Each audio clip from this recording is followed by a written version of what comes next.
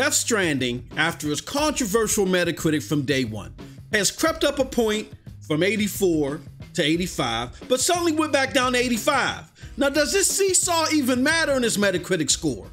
Well, yes, and here's why I think so. Let's get into it.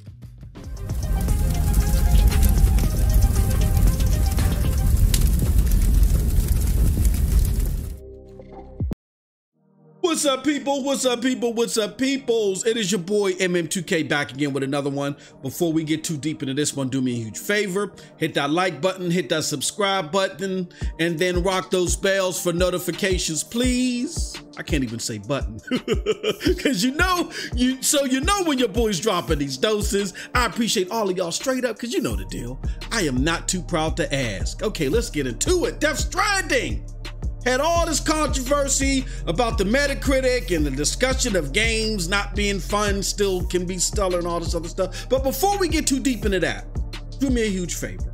Okay. All right. Understand how I drop my material. I drop my material so you guys aren't lost in the sauce. Understand that I drop my material via three parts. First, I do the checkup, I do the analysis, and then I do the prescription. Okay. So we all on the same page? Yes, yes. All right, let's go. First, the checkup. Death Stranding, 2019 PlayStation 4 exclusive, is set to release November 8th, 2019. Now, it has been it is made by acclaimed and Rockstar quote unquote developer Hideo Kojima.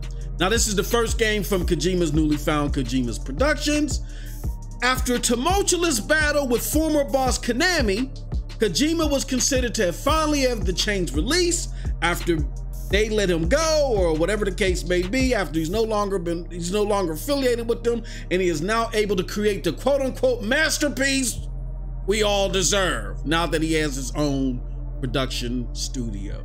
All right now for the analysis. Well as that ever so sensationalized metacritic has called it it is not reviewed as well as some have hoped now, in line with other PlayStation 4 back AAA titles and its prior works, the game has failed to reach 90 or even high 80s in Metacritic.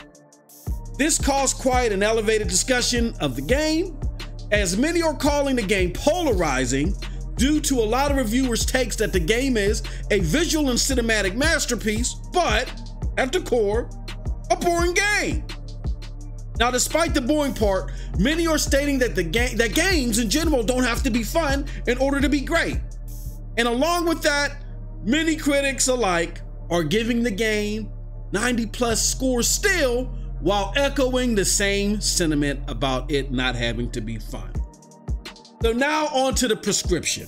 What does your boy MM2K think about all this? Well, I think this is significant as I alluded earlier because it just shows you how pathetic Kojima stands are, Sony fanboys are, and more importantly, the media elites. All right.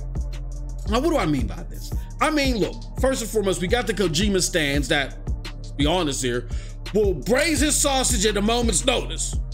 Did I say that? Period. All right.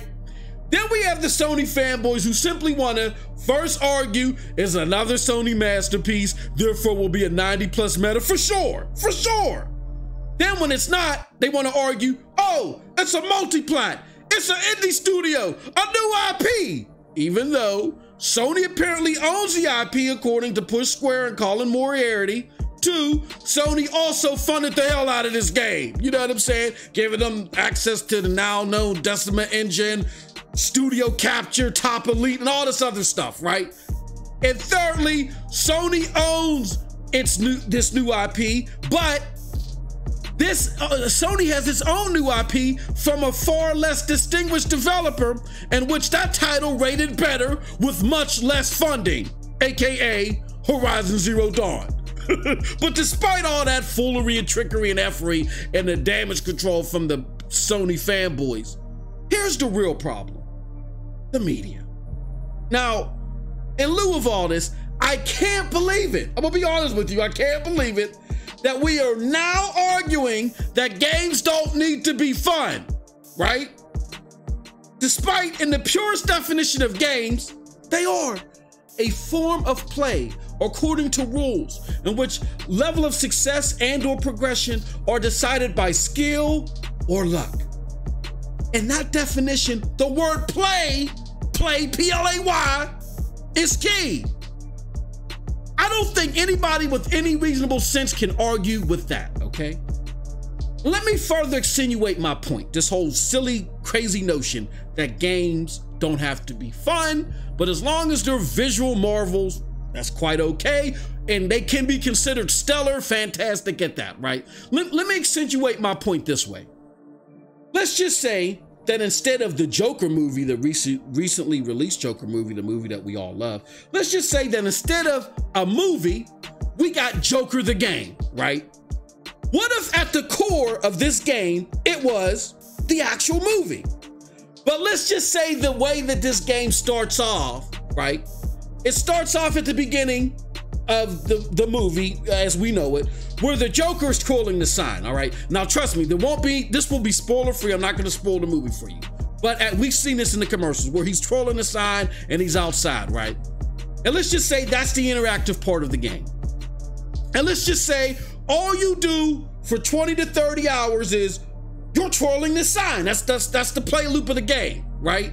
You troll and balance the sign and make sure people don't knock it over or kids don't steal it from you. In order to do so, you use the left and right triggers, right, to balance the sign.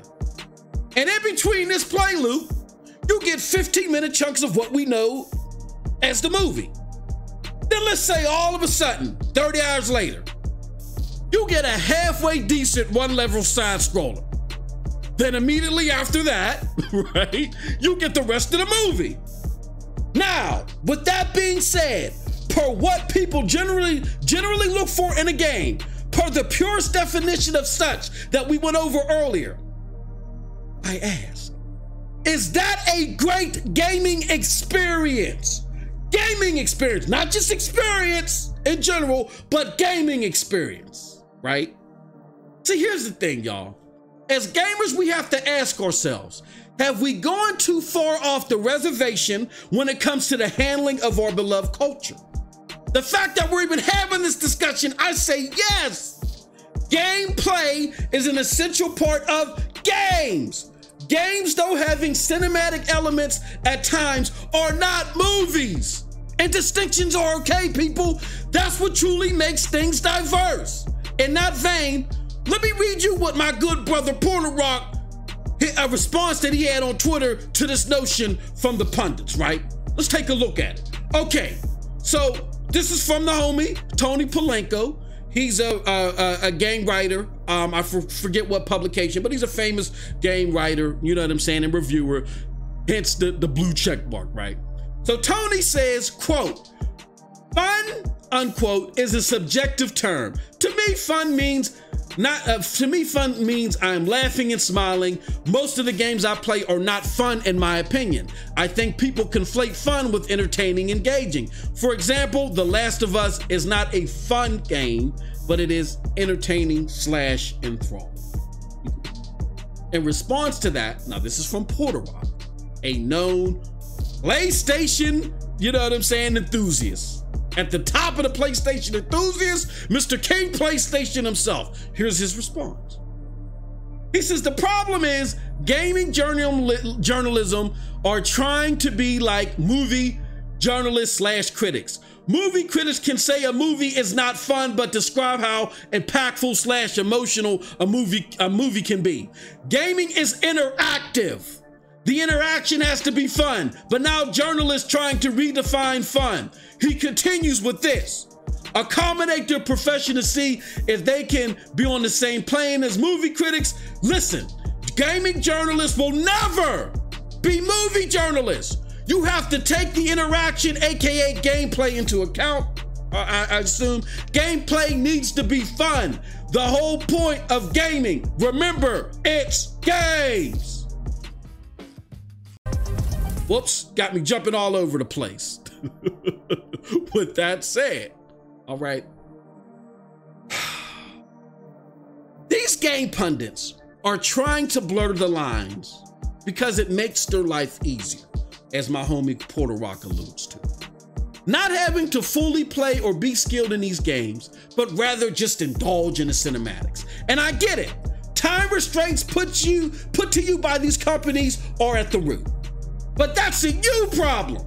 You and these big wig publications have to get better at this or fall because of it. Therefore, I say gamers in totality, totality. Let's take back our community from this ridiculousness of the console warriors, stands, and pundits. Support your favorite content creator who takes time and fully plays and vets these titles as should be. Also support the diverse opinions so we get a pure aggregate of opinions to know what a truly great title is across the board. Doing so is the only way that games will flourish. And our culture will flourish at that.